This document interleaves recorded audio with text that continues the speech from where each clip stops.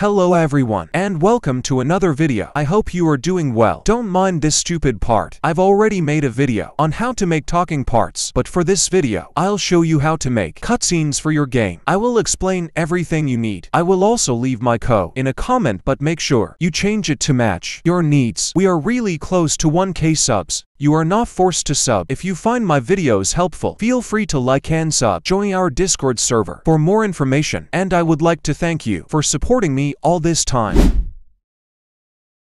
Stupid part.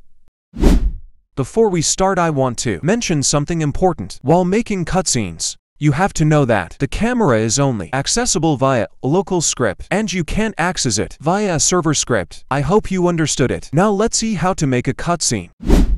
I made a local script. The first few lines is to make sure that our player has loaded fully and also to avoid having errors while getting elements from the workspace. I made a variable for the door, the camera and the player's parts to detect if he touched a button that will trigger the cutscene and plays the animation. I'm going to use the humanoid object to freeze our player. Tween service is for our animation. Then if the player's foot is touching something and that thing is the button. We also using is touching to avoid spamming the button. We made variables for the current player's speed and jump power because we are going to freeze him. And once the cutscene is done, we give him back his speed and jump. We change the camera type to scriptable so we can animate it and move it freely if you keep the default camera type. You won't be able to move it after we created a tween for our camera and the goal is a part that is pointing at the door. We will change our camera's position and rotation to that part. We also made a tween for the door to go up and once our animation is completed, we bring back the player's walk speed and jump power and we bring the camera type back to its default value and we finally let our player able to touch parts again and yep that's all we need.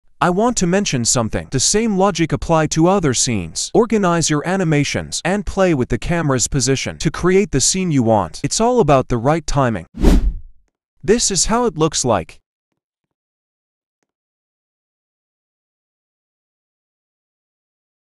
I hope you guys learned something new. Stay safe for the next video. Eat well and don't forget to join our Discord family. Have a nice day.